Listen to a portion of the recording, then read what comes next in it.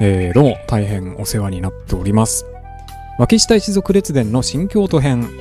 第4回目の今回はあの方です。なめよ家の生んだスーパーダンシングヒーロー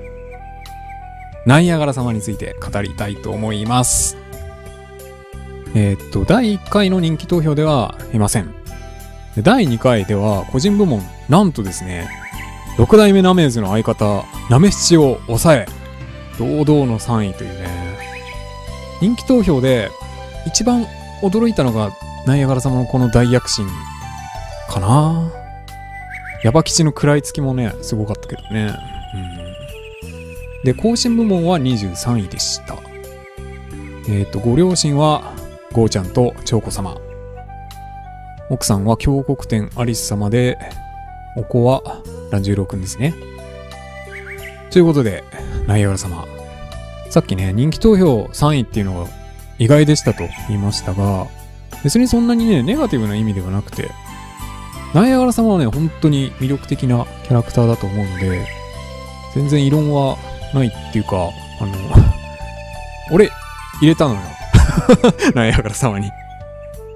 入れてるんですよね。俺は基本的に、うちの一族の子みんな愛してるので、それはもうね、一人20分ぐらいかけて 一人一人について語っていくほどには愛しているので、まあ選べないなっていうとこではあるんだけど、投票に際してはね、あのーパート100以上に及ぶ動画の中でですね、特に苦しい局面とか難しい局面で盛り上げてくれた子、助けてくれた子、かつ、トップ争いするほどには票を集めないだろうっていうね、子に入れようと思ってたんです。まあ、ほっておいてもね、票入る子は、俺が入れなくてもいいよねっていう。だから、一票だったら、みじむちんに入れるって言ってんです。絶対そんな上位にはいかないからね。29位でしたけど、みじむちゃんは。で、ナイアガラ様はね、票が入らないことはないだろうけど、正直、俺は20位から15位ぐらいかなと予想してたんですよ。なめよけでおそらく一番票を集めるのは泉ちゃんだと思ってたんです。というのは、これだけ票数がね、集まる人気投票で上位に行くっていうのは、もちろん動画の中でのキャラ立ちもあるけど、それに加えて、戦闘でも大きな活躍をしていないとなかなか難しいと思うんですよね。レツカ様はね、うん、言うことないよね。最強のカチコチボディ。でね、髪六本切りで、その大多数のとどめを刺してますしね。エヴァ吉もさ、初陣での大山越えとか、あとマナ姫戦とかね。あそこでのしぶき丸圧とか。見せ場はたくさんあったし、なめしもね、パーティーになめしがいてくれることの安心感っていうのはすごかったので、ただ、ナイアガラ様はね、戦闘では完全にサポートキャラだったんだよね。ま目立ってはいたけど、どんどこどんどこどんどこっつって。だから、そんなには集まらないんじゃないかなと思っていて、俺が票を入れることによって、君らあんまり気づいていないかもしれないけど、うちのナイアガラ様は、こんなに魅力的なのだよっていうのを言ってやりたいなと 思ってたんだけどね。票を集計していて、あれって おかしいなって。最初はね、ナメジとかナメシの方が上だったんだけど、終わってみればね、3位ですからね。あ、みんなもう 気づいてたんですねっていうことですよね。こんなことならゴーちゃんに入れておけばよかったなと思ってますけど。いやー、ナイアガラ様ですよ。どこから語ろうか。まずじゃあ、俺がナイアガラ様に何を助けてもらったかっていうことですけど、やっぱね、レツカ様の後、海大王様の代っていうのはいろんな意味でね、難しい局面だったんですよね。まあ、レツカ様はね、人気投票でも、ヤバ吉に結構食らいつかれたとはいえ、まあ大方の予想通り1位でしたし、まあ魅力的なキャラクターで、やっぱそういうこの後を受けるのはね、大変なんだよね。でゲーム的にも地獄への扉を開いて、大衆ダンジョンを出現させて、列カ様去っていったと。でもまだね、神様の解放とか、いろいろやり残したこともあり、生命とかいうね、ポット目の強キャラがさ、突然出てきて、負けちゃうとかね。本気で地獄に突っ込めばもしかしたらけるかもしれないけどいけないかもしれない。でなめはち團十郎と次の世代の子たちも徐々に出てきて本当に魅力的だと。ちょっとね五竜始祖の面影なんかも感じちゃって。あこいつらで決めることになるのかなみたいなね予感もしつつ。となるとさ海田洋様たちはどうしてももうつなぎになってしまうんですよね。ゴールが見えてる中で後を託さないといけないっていうどう考えてもきついな悲しいなってなってしまうね世代の子たちでしたけど御大王様とかアクアマリンズとかナイアガラ様はねそれを感じさせない明るさというかギャグに振り切った感じがあって楽しかったんだよねやってて海洋ロマンス世代、まあ、そのね大きな原動力の一つがナイアガラ様だったと思うんですよ。多分ね、海洋ロマンス世代のこの遺言が、一人でも暗いものが来てしまったら、俺はね、死んだと思うんだよね。うーって断末魔を残して、こう胸を押さえて突っ伏したまま二度と起き上がらなかったと思うんだけどでもね、ナイアガラ様、最後に笑わせてくれたんだよね、遺言でね。あれは本当にね、いい遺言ですよ。最初聞いた時ね、ちょっと戸惑ったけどね。何言い出すのよって。でもね、あれね、時間差で来るんですよ、ナイアガラさんの遺言は。今思い出してもね、ちょっとジーンときますけど。からの、いつか号泣で俺も号泣っていうね。あれは、あれは本当に泣くよなまあね、その後も、マリンちゃんも海大王様も暗い遺言は来ずにね、がっかりすんなって言ってくれたしね、海大王様なんて。俺は、なんとかまあ一命は取り留めることができたわけですけど、その中でもね、ナイアガラ様の遺言は、声もいいんだよなナイアガラ様の優しそうでさ、あの、バーントーっていう言い方？すごいよく覚えてるんだけど、あの、ナイアガラ様のイメージ通りでもあって、本当に救われたんだよね、あの遺言に。もし脇下家のね、遺言ランキングをやっても、多分ナイアガラ様は超上位だと思うんだよね。忘れられない遺言の一つですね。あと、ナイアガラ様は、最後の5日コメントだけではなくて、本当にね、ランダム要素に愛されまくっていたというか、野菜嫌いっていうのもね、すごくらしいじゃないですか。あと、奥義覚えるタイミングとかね、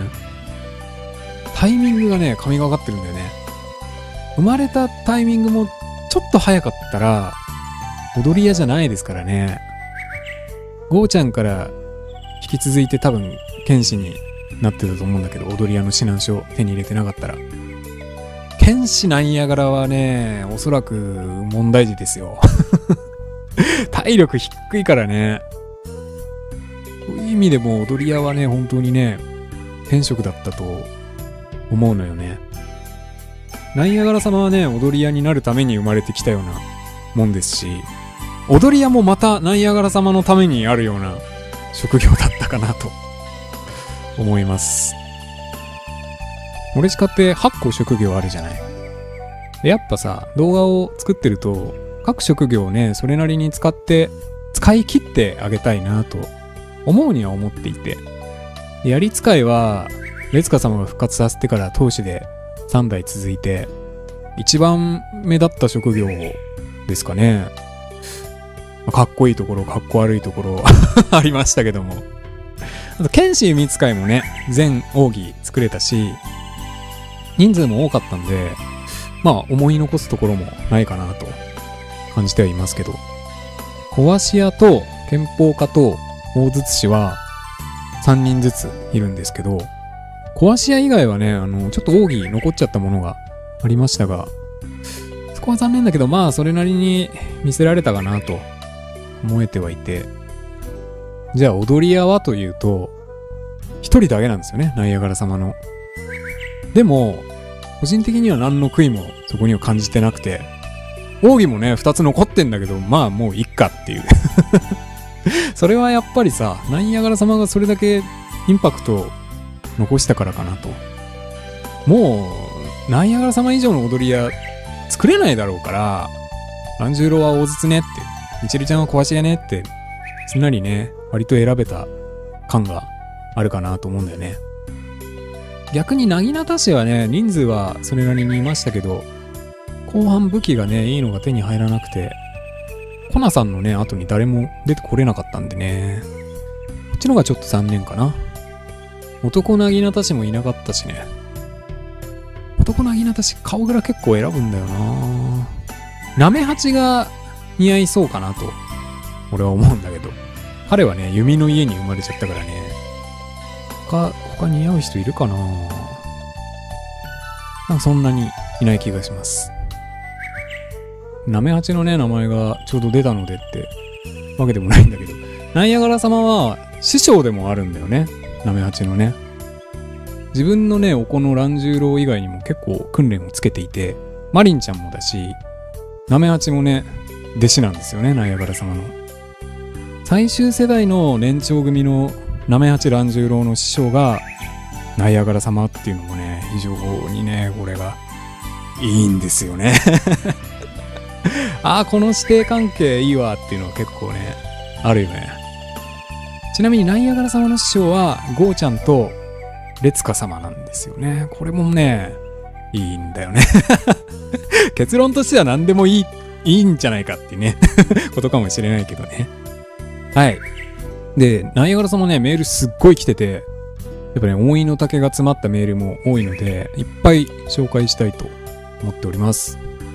まずはね、唯一の踊り屋としてのナイアガラ様に言及するものが結構あったので、それをまとめています。えー、っと、名付けの瞬間から最後の時まで声に出して笑わせてもらったナイアガラ様はまさに人を魅了し楽しませる踊り屋にふさわしい方でした。彼ほど唯一無二という言葉が似合う人もいないんじゃないかなと思います。大好きです。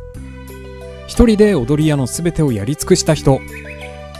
最初にして最後の踊り屋は伊達じゃなかった。歌舞伎者という言葉がこれほど似合う人もいないと思います。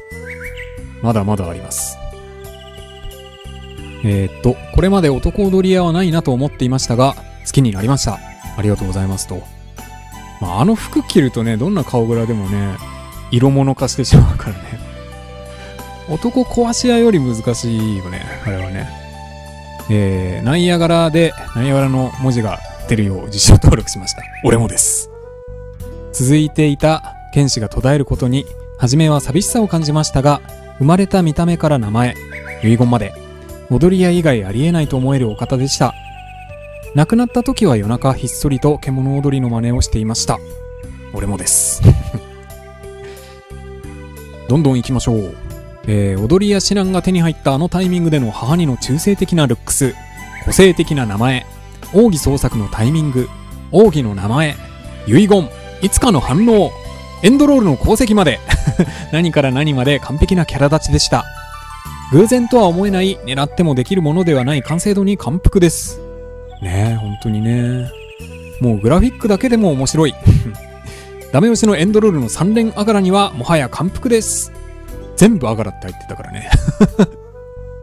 笑っちゃう。あそこで笑っちゃうってなかなか すごいですよね。次は、この辺からね、僕の私の好きなナイアガラ様シーンっていう感じになってきますけど、初めて獣踊りを見た時の衝撃は忘れられません。水の舞後のおしず信玄などなど書ききれないほど楽しませてくれたキャラクターでした。あそこでね、マルコではなくおしずっていうのがなんかね、あのー見え張ってんのか 言い、出しにくいからなのか何なのかいいですよね えー、パート86の接待大風車事件が敵に味方に大気のなめしまで絡んで落ちまで完備とコントで一番好きなのですが、その際に全体攻撃を一人だけ知ってたとばかりに回避するシュールな場面で残念なイケメンではなくまともな変人なんだなぁと。よく覚えてますけどね、俺もね。最初のアガラ親王戦だよね。なめ七が海大王様の訓練で家に残ってる時で、アクアちゃんの初陣で髪まで行っちゃったやつですけど、楽しかったですね、あれね。かわすんだよね、ナイアガラ様はね。あのね、ナイアガラ様はね、被害者にならないんだよね、事件の。大体みんな被害は被ってんだけどアクアマリンズは被害者になること多い気がすんなあの時もね、ちゃんとダメージ受けてたもんね、二人ともね。ナメシとかね、ビシャも、コナさんも。大体、レツカ様の世代の子はね、振り回されるシーンは多々ありましたけど、ナイアガラ様だけはね、なんか一人で変なことをやってるっていうイメージですかね。次。えー、アガラ親王戦で本家アガラステップをヒントにナイアガラ獣踊りを習得し再戦の折にはそれを本人に披露した後剣で殴られるのが面白かったです。アガラ親王戦でね覚えた奥義だからね。アガラ獣アガラ獣踊りじゃない。もうアガラアガラが多すぎてなんだかわかんなくなってきてるけどナイアガラ獣踊りをね習得したんですよね。再戦するときは確かナイアガラ隊だったよね。ナイアガラ獣踊りをね店に行くんだよね、アガラ新聞にね。アガラって言い過ぎて、ちょっと。えー、あとはやっぱり遺言が良かったですね。本当にらしい遺言で、そこで初めていつか先生が涙を流したのも、乱数のいたずらとは思えず、みっともなく勝ち泣きしてしまいました。もっとナイアガラ様を見ていたかったと、どうしても思ってしまいます。うーん。この辺からね、遺言に関するメールを集めていってます。えー、どんな悲しみにも負けぬこうという願いから生まれ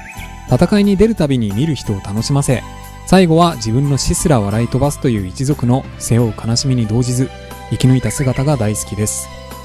このねどんな悲しみにも負けぬこうっていう長子様のセリフを挙げてくれる方が非常に多くてゴーちゃんとね長子様すごい好きなんでゴーちゃんの更新相手選びはすごい迷ってで、自分の直感を信じて、ちょっと奉納点低めの長子様を選んでるんでね。やっぱね、そこから生まれてきてくれたナイアガラ様がね、両親の願い通りに、こう生きてくれたっていうのは本当に胸がいっぱいになるよね。えー、遺言といつかの涙にやられました。最後の最後に笑いと涙をかっさらっていくなんてずるい男。もうずるいですよね、ナイアガラ様。遺言でのいつか先生とのやりとりは一族の短い一生の中での日常の幸せを感じられ、思わず号泣してしまいました。そうなんですよね。戦いに明け暮れるだけじゃなくて、ああ、この子たちにも人としての日常があったんだなって感じ取れちゃう遺言が来るとね、やっぱ泣きそうになるよね。わかります。非常にわかる話です。次、えー、ナイアガラ様は遺言で印象が変わりました。呪いのかけられた一族の運命の中にあって自分の生き方を貫いた方だったのだと感じました。うん。やっぱねオレシカの一族ってさキツトとかさ大正天ひろこ様とかの手のひらで踊らされてる感っていうのがあるじゃないですか。俺は正直そんなにアンチヒルコではないんだけどでもやっぱりね、ひろこちゃん嫌いな人の気持ちもわからなくはないんだよね。結局さ、呪いを解くために戦いに明け暮れるっていうのは、思惑通りっていうことなんで、地獄へのね、道を切り開いたあの強い強い列家様も、ギリギリのところでね、爆裂丸に後を託して亡くなっていた海大王様も、みんな利用されているだけなんだって思うとやっぱやるせない気持ちにはなるんですけど、ただ、ナイアガラ様だけはね、なんか手のひらの上とはまた全然違うところで、ただ自分が踊りたいから踊ってるだけの 気がしてそういうね、強さをね、感じるんだよね、ナイアガラ様は。キツとはさ、あの、地獄巡りで、3人目の四天童子って挑発してくるじゃないですか。あの時に一緒にすんなって言ったと思うんですけど、あの時に頭に思い浮かんだのはね、やっぱナイアガラ様だったんですよね。だから、うん、非常にいいメッセージですよね。えー、ナイアガラ様はいつもこちらを笑顔にしてくださいました。ボンピン石猿卑弥呼とサポート技の完備。ナイアガラ獣踊りも水のナイアガラ舞も全て味方を支えるための技。遺言でいつも一族を見守り励ましてくれるいつか先生のことを話してくれた時は涙が出ました。うーん、いやー、いい風に言うよね。そうなんだよね。アタッカーとしてはね、全然なんだけど、本当に、卑弥呼も使えたし、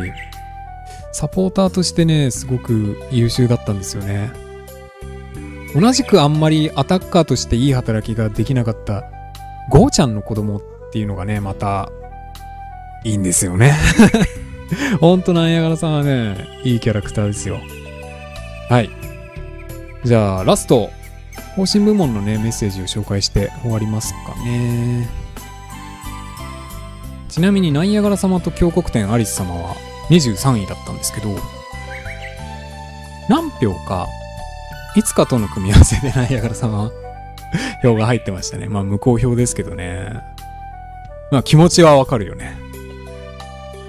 いつかとの組み合わせで票が入ったのはナイアガラ様だけだったかな。無効票覚悟で結構ね、投票してくる人が多かったですけど。はい。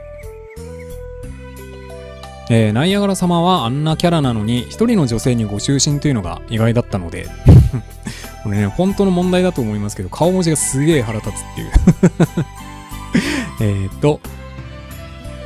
急に獣のような踊りを前出す謎のイケメンと、そんな夫を冷静に見守りながら無表情で拍手を送ってくれそうな神秘的な美人妻。いいですね。うん。いい、うん。いいね。えっと、最後ですね。えー、踊り屋のナイアガラ様が鏡の神様であるアリス様に恋をするのはしっくりくるような気もしています。蘭十郎様が生まれるのも納得の組み合わせの二人です。うん。まあ、峡谷店アリス様もね、水の神様にご就寝というのが、もしなかったら、違う女神様を選んでいたかもしれないので、うん、團十郎はね、まさにこの二人の子供っていう感じの顔蔵なんで、これもね、運命的ですよね。はい。じゃあ、以上かな。いやー、長いね、今回も。30分以内かな。30分以内に収まってればもう、すべて良しとしよう。はい、じゃあ、終わりにします。次、第5回目でお会いしましょう。さようなら。